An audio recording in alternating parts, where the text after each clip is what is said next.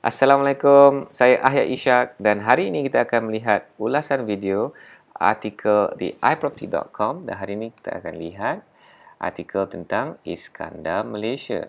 Apa yang dikatakan di dalam artikel ni, Iskandar Malaysia akan target nak uh, apa ni?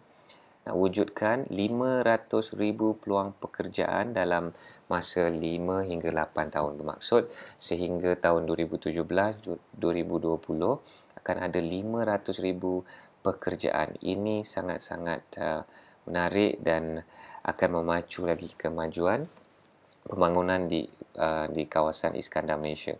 Dan bila kita bercakap pasal Iskandar Malaysia ni tak boleh cakap Iskandar, dia mesti sebut Iskandar Malaysia. Uh, itulah brand dia, itulah nama sebenarnya ya.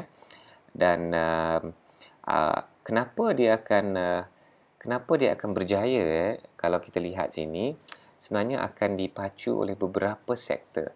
Dan uh, sektor yang paling menonjol di sini boleh dilihat ialah pengajian tinggi ya. Terdapat 12 universiti yang sudah uh, yang sudah uh, menempatkan kampus mereka di di Iskandar Malaysia. Dan tentunya bila ada universiti sebanyak ini dia akan benar-benar mewujudkan populasi uh, pelajar dengan orang pekerja-pekerja di um, di universiti ini dan uh, apa dia akan wujudkan uh, apa ni uh, apa ni uh, tourism atau pelancongan dalaman dan luar negara. Nah ini yang menarik kerana setengah daripadanya ialah kampus untuk uh, universiti luar negara itu yang best eh.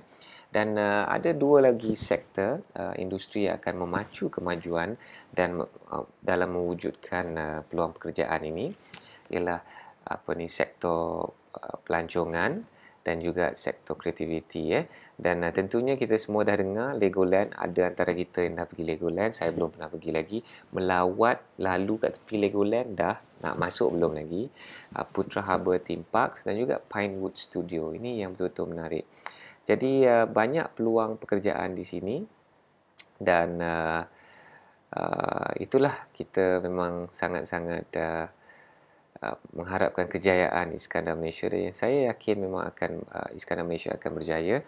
Dan uh, ramai yang kena tahu juga ya Iskandar Malaysia ni dia bermula dengan uh, tahun 2006 fasa pertama tu 5 tahun pertama tu dia fokus kepada mewujudkan infrastruktur. Dan infrastruktur tu bila dah wujud sekarang ni Iskandar Malaysia sedang fokus untuk mewujudkan business activity economic activity. Uh, apa ni dia kena wujudkan vibrancy ya uh, kena wujudkan population peluang-peluang pekerjaan itulah yang dibuat sekarang dan saya nampak usaha ni uh, bersungguh-sungguh dan menampakkan hasil walaupun peringkat awal kita mengharapkan kemajuan yang lebih di Iskandar Malaysia. Jadi itu saja ulasan video saya. Uh, artikel Iskandar Malaysia di iproperty.com.